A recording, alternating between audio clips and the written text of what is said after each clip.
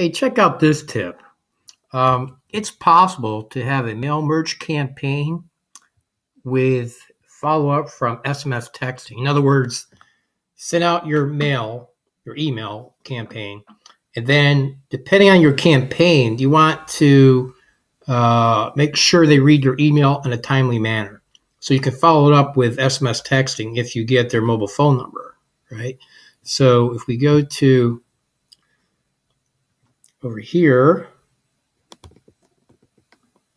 let's see, over to the response spreadsheet where we've installed um, one of those uh, add-ons for mail merge.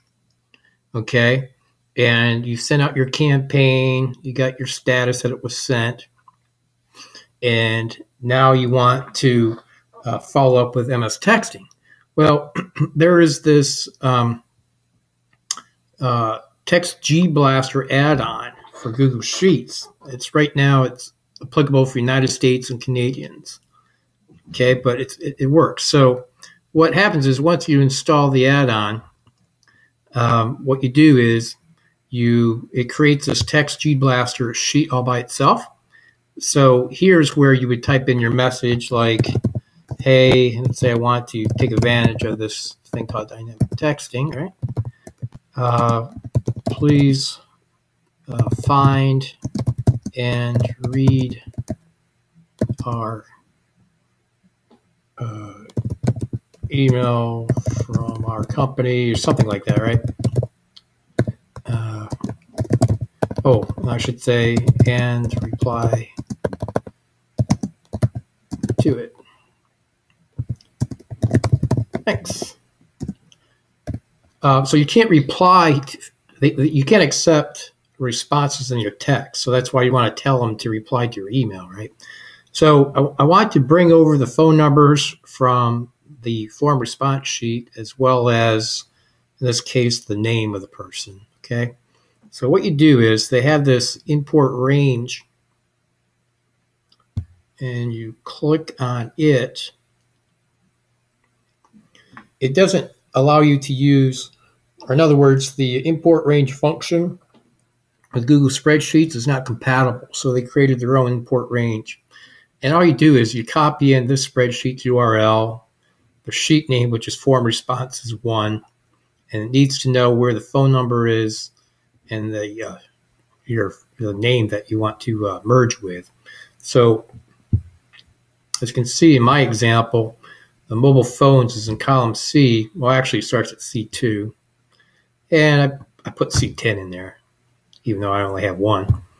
Um, and then for the dynamic text range that we want to populate here, I want to replace with their name, which is here, starting at B2. And then you can even have it remember this import range for the next time. So it's your choice if you want to remember that or not. So what happens is when you click uh, import, it will populate column A and column C. It says 9 because of the range, even though there wasn't any there. Uh, and then you just simply hit the back button here at the top. And, well, let's say that I actually had more data. So if I use this technique you can use in spreadsheets here, they do have a copy down type of thing.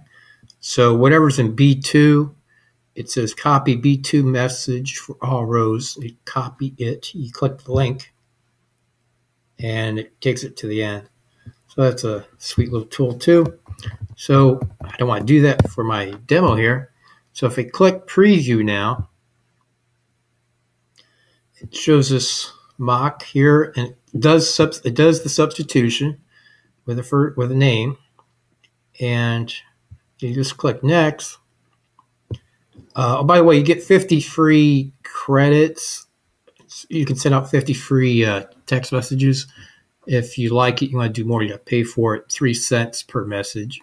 So here, you just click send. You have to acknowledge their terms and stuff, which are here and so forth. You click send.